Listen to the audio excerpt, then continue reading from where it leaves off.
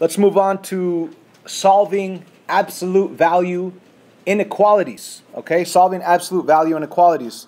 So let's take a look at this guy. Feel free to jot it down if you want. Um, the notes, the notes to solving absolute value inequalities are the same as solving absolute value equations. The only difference is what I added on in blue right here. Okay? This is on the sideboard of our class. So you're going to start by isolating the absolute value on one side, and it'd be a good idea to get it on your left side. That's step one. Step two is to set up your positive situation and your negative situation. The positive situation, you write it exactly the way it is without the absolute value symbol. The negative situation, same thing, but change all the signs to the right side. And if you look over here, the blue, this is the new added notes to inequalities, absolute value inequalities, and switch the inequality symbol.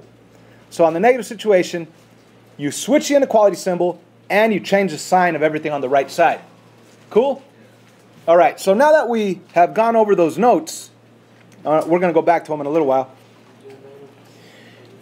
Let's first isolate it, and I'm going to isolate it by doing what?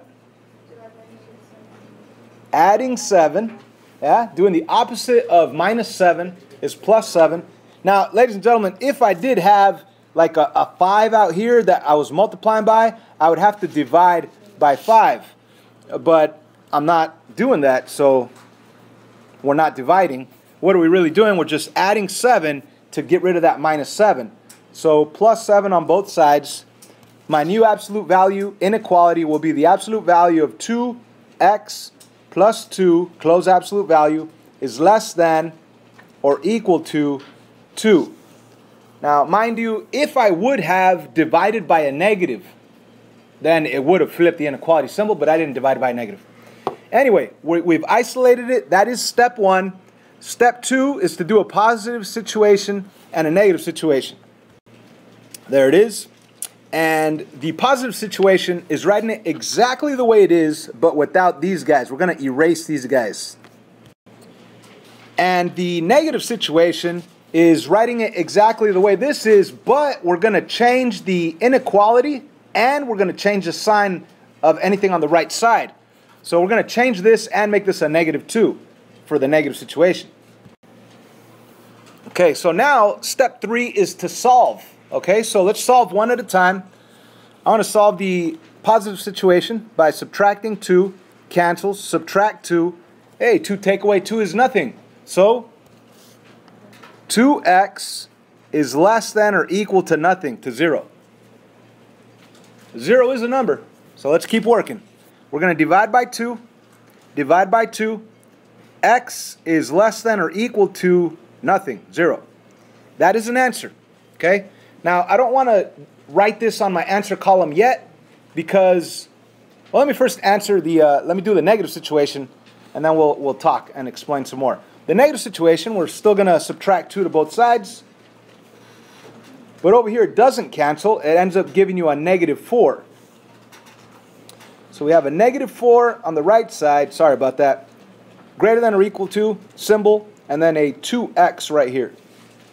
And we still need to get rid of the 2 in front of the x. I'm going to divide by 2, divide by 2. So x is greater than or equal to negative 2. Notice that I did not flip the inequality symbol because I did not divide by a negative. Anyhow, we have two answers. And ladies and gentlemen, our notes, if we go back to the notes over here,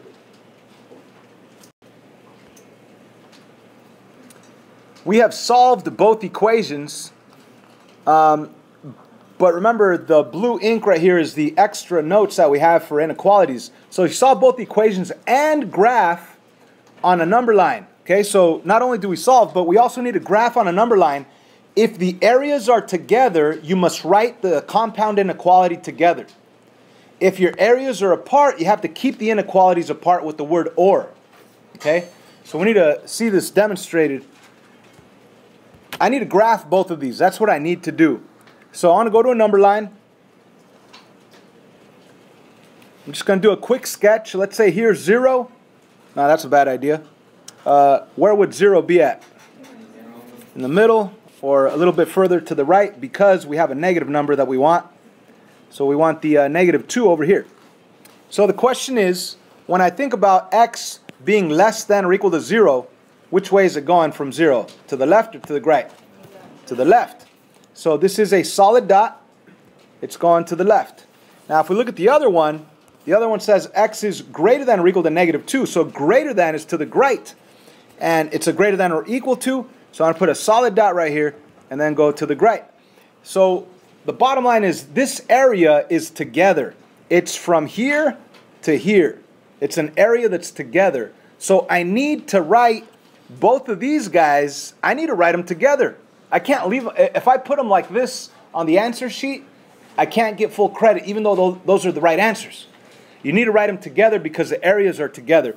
Now, I know that this seems like, oh, it's going to be difficult. No, it's really easy to write them together, especially because you already wrote them in order on a number line. The smaller values on the left, the bigger numbers on the right. That's why, it, I mean, it's on a number line, it's already organized.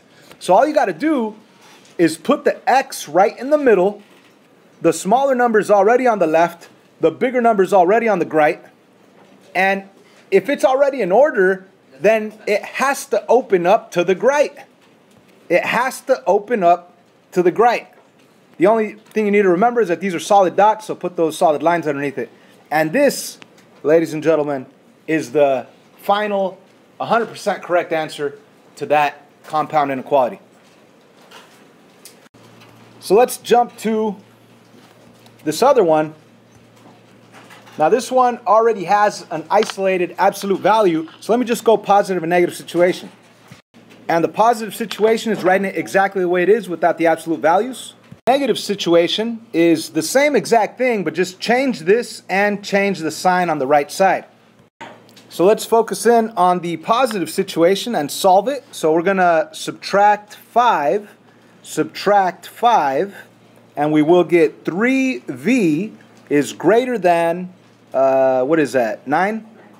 Then we're going to divide by 3 and divide by 3, and we get v is greater than 3 because 9 divided by 3 is 3. Now this is one answer so far. Let me go for the other. We're going to subtract 5. Subtract 5. We're going to get 3v is less than negative 19. And then we're going to divide by 3. And divide by 3. v is less than and people are like, oh my God, it's a fraction. I don't know what to do. It's okay. You can get fractions, right? Fractions exist. So what is 19 divided by 3? It'll go in 6 times. So it'll be a negative 6, and you'll have a remainder of 1 over the original 3.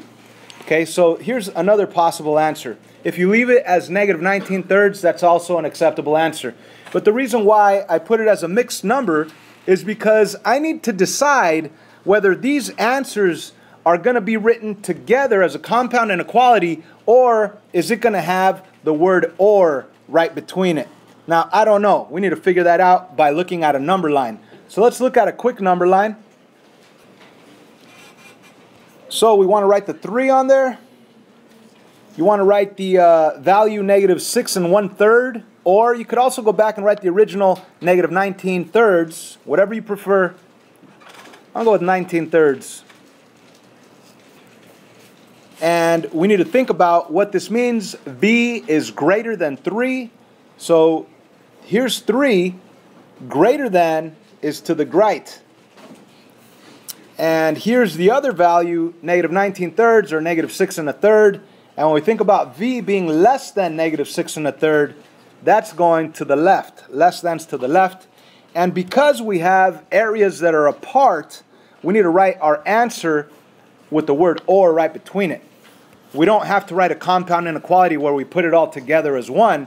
We just leave them apart. V is uh, greater than 3 or V is less than negative 6 and a third or negative 19 thirds. Whatever you prefer is okay with me. That would be your final answer.